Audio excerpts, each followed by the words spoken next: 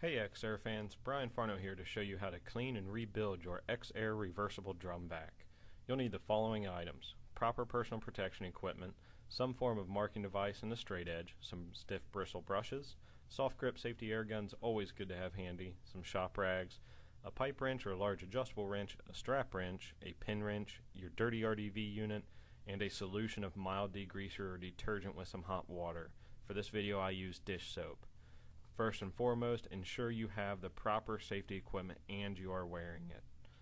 Then you'll want to clean the stem using a stiff bristle brush to get the float as clean as possible.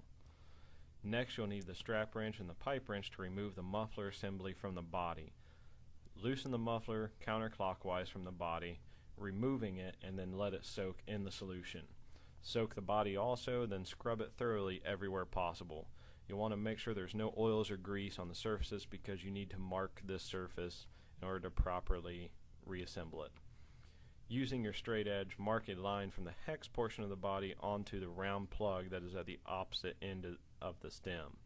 This is so we can reset the drum vac close to the same flow rate as it was when you received it. Using the pin wrench and the adjustable wrench, remove the plug from the body. Soak the plug and then lightly tap the body to remove the shim. Be careful not to bend the shim if you don't have a new one to install. Allow the shim and the plug along with the body of the unit to soak for a little while to loosen any debris.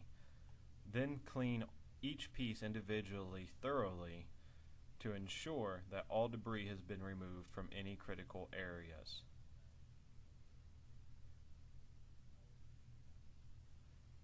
When cleaning the shim, ensure that you do not deform the piece. With the, all the units clean, you may then dry them off with a rag or a soft grip safety air gun. Then move on to cleaning the muffler assembly. On the muffler, it's critical that you ensure all the ports on the bottom of the unit are free of debris. A stiff bristle brush or a soft grip safety air gun work excellent to do this. With all the pieces dry, you can begin reassembly. Install the shim with the bevel facing up just as it was removed. Then install the plug and hand tighten it to the body. You will then need to use the wrenches to line the two pieces back up as they were before you disassembled them. With the pieces in line, you may then reassemble the muffler to the body. This does not need to be a wrench tight fit. You can simply hand tighten the muffler onto the unit for proper operation. You will then want to ensure that the fill and empty knob functions properly along with the float moves freely. This fairly simple procedure can make your reversible drum vac run like new. If you don't want to try it yourself or you want a professional to do it, just contact an application engineer and we'll walk you through the process to send the unit back to us. After we're done rebuilding the unit, not only will it operate just as a new unit would, but it will also look just like a brand new unit.